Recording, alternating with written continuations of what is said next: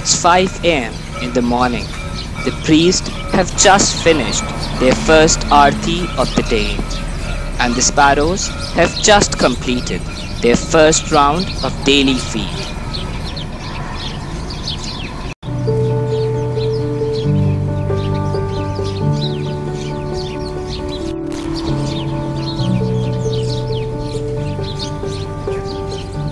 Sparrows are extremely vocal birds that chirp all the time. Both the male and female sparrows are apparently alike with black and brown color. These birds vary in size depending upon the region they inhabit. On average, they are around 14 to 16 centimeter long and weigh as light as 27 to 39 grams.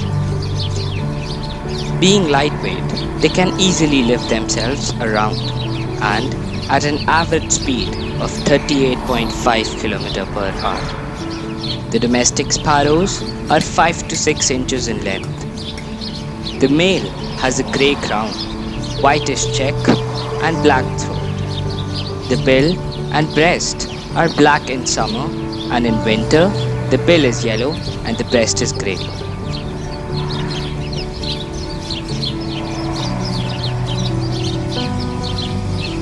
The female has a brown crown and a plain breast with a broad buff line over the eye. Be careful when identifying female house sparrows because they may look similar to female house finches. The female house finch will have a striped breast. Some interesting facts to know about sparrows are Sparrows do not belong to the category of water birds, but they can swim extremely fast to escape their predators. Sparrows are not territorial animals, but they will aggressively protect their nest from other sparrows. Sparrows can survive between 4 and 5 years in the wild. Sparrows are extremely social birds that mainly nest in colonies. Very rarely you will find them in dense forests or remote environments. They fly and feed in small flocks. Sparrows prefer to reside close to permanent human dwellings where they can fight bird feeders. Inhabiting an ideal sparrow habitat, they rest in nests that are normally located under roofs, bridges, and in tree hollows.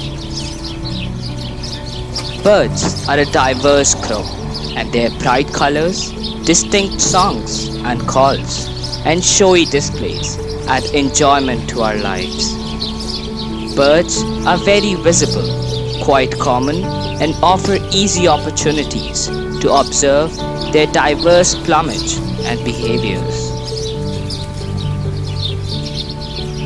Some birds transport a variety of things to the environment. For example, sparrows serve to spread seeds of various plants, thereby helping in seed dispersal.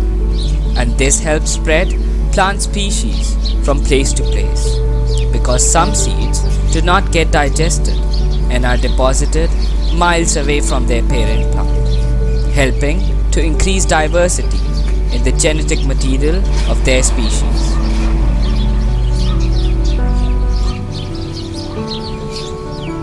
Concerning sparrow diet, these creatures are primarily carnivorous in nature.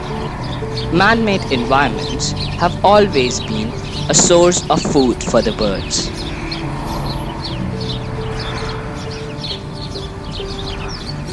Birds also play a vital role in keeping this balance of nature. Birds have often been associated with peace symbols. They scatter various colors in the sky, appearing like flying rainbow. These effortlessly flying birds, making their way across the air, have always presented a splendid sight to see. Unfortunately, various species of birds have been in the endangered bird list and the world remain callous about their declining numbers. I wish and I pray that this grave issue is addressed immediately to preserve the beauty of nature. Our school takes little little steps towards saving these birds by undertaking some projects like the making of bird feeders and performing street plays for awareness of this topic. Like many drops, together makes an ocean. We all together can contribute towards the healthy living and extent of these sparrows.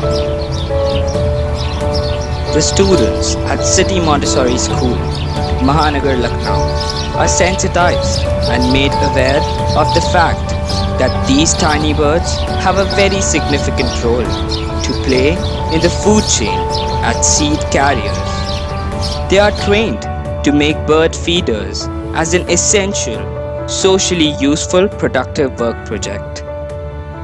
Hello everybody, I'm Mrs. Anju Singh. I'm a teacher at City Montessori School. Today I'm here to tell you something about the sparrows. For the protection and conservation of sparrows, I've been working since about uh, 10 to 15 years. Then one, uh, one day I saw that they were trying to find a place to make their nest. Actually, uh, the sparrows, they are domestic birds. So they do not make their nest on trees like the other birds. So it came in my mind that I put in some pots over here. You can see over here the pots are there. And uh, those, when I put these pots, they started making nest out here. And every spring, these nests are full of bird eggs and the little ones. They should also adopt the habit of protecting and conserving these little birds which are dwindling very fast. They just have to put in some rice grains and water over here and make it a part of their daily routine as I have done. So I want all of you to express the same joy as I am enjoying and I just want to say that it just require a little bit of effort to save these birds, the tiny birds. People are talking about environment and climate change and you just have to take a small step and if you're working on it you will feel the pleasure, the joy which is like remarkable. It is our moral responsibility to preserve the key link by allowing it a little space in our homes and hearts.